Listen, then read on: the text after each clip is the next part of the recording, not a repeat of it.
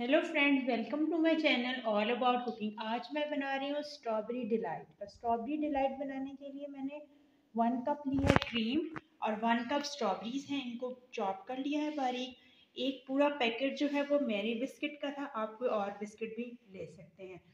और ये एक पैकेट था स्ट्रॉबेरी जेली और मेल्टेड बटर है वन टेबल स्पून दो कप पानी और शुगर जो है वो टू टेबल स्पून एक कप जो है वो स्ट्रॉबेरी जेली है और टू कप्स जो है वो वाटर है।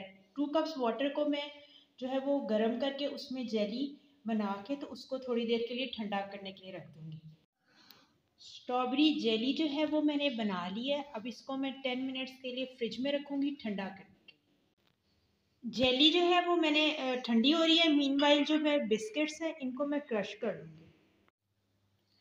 बिस्किट्स जो हैं वो मैंने ब्लेंडर में डाल दिया मैंने क्रश कर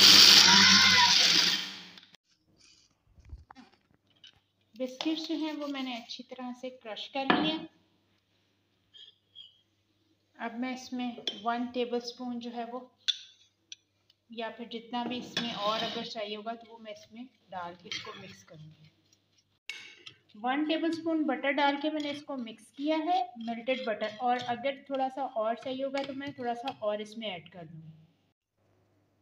बटर और मैंने जो है वो बिस्किट्स मिक्स कर लिए हैं। अब मैं इनको इस तरह से यहाँ पर पूरा प्रेस करूँगी। पूरी डिश में जो है ना इक्वली मैं इसको प्रेस कर दूँगी। बिस्किट्स के साथ मैंने इसको इक्वली जो है ऐसे प्रेस कर दिया है। अच्छी तरह से प्रेस हो गया। अब मैं जो है अपनी वन कप क्रीम में one tablespoon sugar add करके तो इसको अच्छी तरह से बीट करूँगी। वन कप क्रीम में मैं टू टेबल स्पून जो है शुगर डाल के इसको बीट करूँगी। क्रीम को मैंने बीट कर लिया था और उसमें जो स्ट्रॉबेरीज मैंने स्लाइस की थी, वो भी डाल दी थी। अब उसको जो है मैं इसके ऊपर सारा स्प्रेड करूँगी।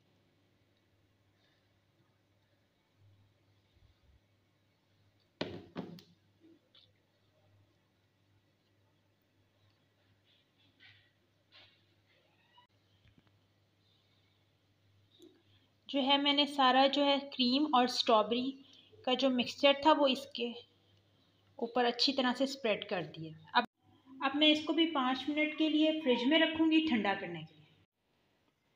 जेली जो है वो मेरी रेडी हो चुकी थी और मैं इसको अब जो है वो स्मॉल पीसेस में कट करूँगी।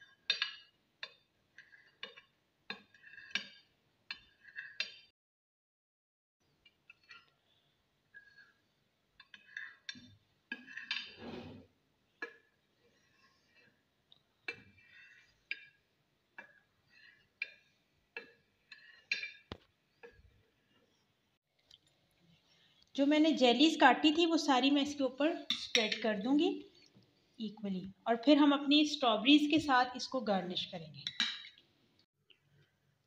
स्ट्रॉबेरी डिलाइट मेरी रेडी हो चुकी थी। मैंने इसको स्ट्रॉबेरीज के साथ गार्निश करके फाइव मिनट्स के लिए फ्रिज में रख दिया था।